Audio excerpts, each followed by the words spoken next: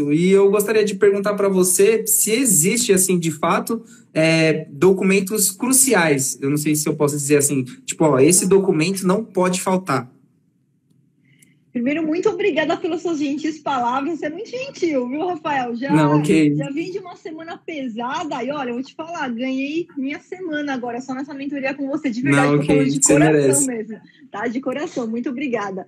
Existem sim documentos que são cruciais, Rafael. Os documentos cruciais, que na verdade são obrigatórios em praticamente todas as licitações, todas as cotações que você for participar, é, eles serão exigidos, né? A gente tem ali quatro searas de documentos, né? É, as duas primeiras searas, que são as principais, que depois, quando a gente entrar lá no módulo 4, eu vou te mostrar documento por documento, que vai ficar um pouco mais clara essa informação, mas existe uma seara que chama habilitação jurídica. Né? O que é habilitação jurídica?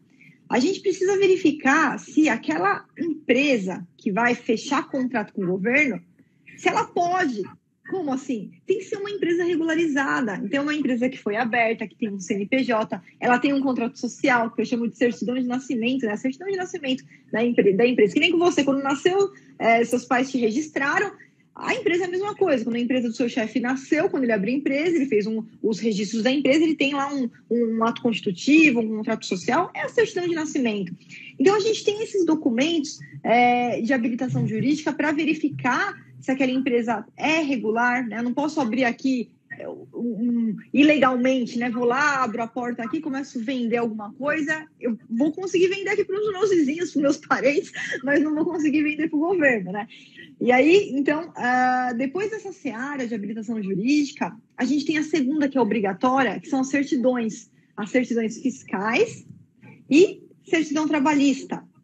Então, a gente tem certidão uh, da esfera federal, municipal, estadual, FGTS. A gente tem uma certidão é, que a gente tira lá no Tribunal do Trabalho, uma certidão que a gente emite pela internet, tudo gratuitamente. E no módulo 4, você vai ter todo o passo a passo em tutorial, onde obter cada uma dessas certidões, onde que você entra, onde que você clica, todas as orientações para você não ficar perdido, para você ter um, um, GPS, um guia mesmo para você seguir, um mapa para você seguir, né?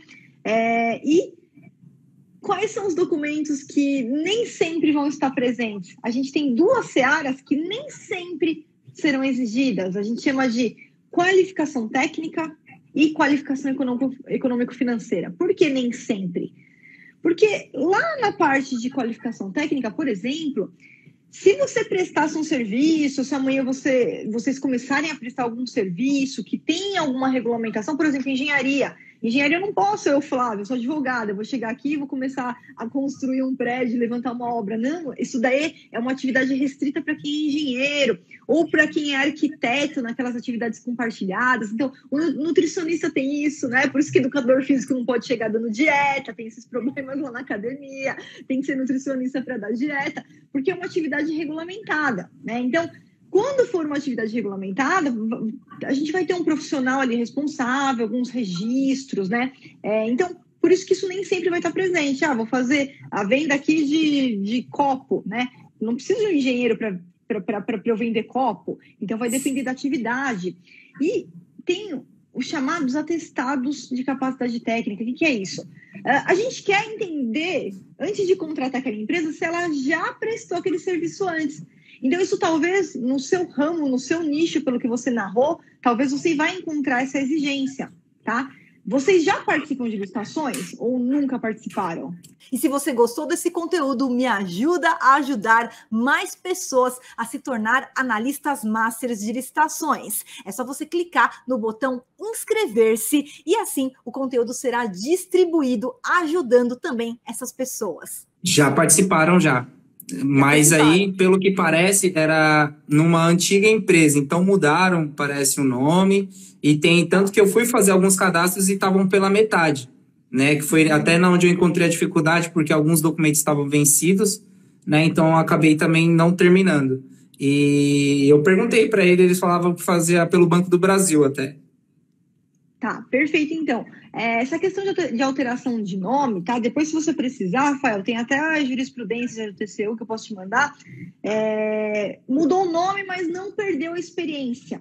Então, é, serão aceitos atestados, mesmo que foram realizados lá atrás, quando tinha um nome antigo, porque a estrutura era a mesma, se a estrutura continua a mesma, não mudou a estrutura nem nada, foi só a nomenclatura, é, o órgão ele tem que aceitar esses atestados. Então, o que, que você já pode fazendo? Você já pode ir verificando se, com os clientes tá, que, que vocês têm aí privados e tudo mais, se vocês não tiverem atestados, lá no módulo 4, eu coloco um modelo de atestado. Já vai fazendo essa coleta junto aos clientes privados que vocês têm. Por quê? Porque quando você chegar no edital que exige esse atestado, você já tem.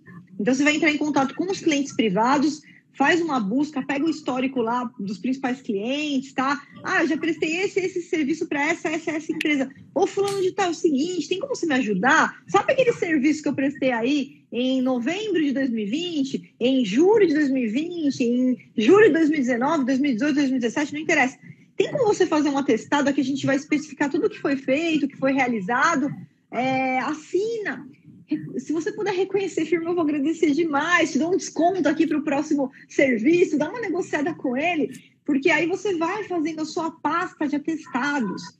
E uma dica que eu te dou aqui também, Rafael, como são atestados com empresas privadas, tá? Porque depois que você participar da licitação, você vai lá entregar o objeto e você também vai ganhar um atestado desse, do governo, você vai solicitar para ele esse atestado, tá? Mas, como são entidades privadas, empresas privadas que você vai pedir, é, às vezes acontecem muitas dúvidas deles pensarem: será que esse atestado é frio? Será que esse atestado é verdadeiro? Então, se tiver lá, conversa com o seu chefe, se tiver algum histórico de contrato, notas é, fiscais que foram emitidas, tenta ir fazendo uma pasta, um arquivo disso aí: atestado, nota e contrato, se tiver. Tá? Porque aí vai ajudar, chegar no momento da licitação, alguém levanta lá, ah, esse atestado aqui não está parecendo ser verdadeiro, aí levanta uma dúvida, Aí o pregão ele pode abrir uma diligência e falar, opa, então cadê a nota fiscal? Cadê o contrato? Para eu saber se realmente existiu essa execução. Então vai fazendo essa pasta, tá?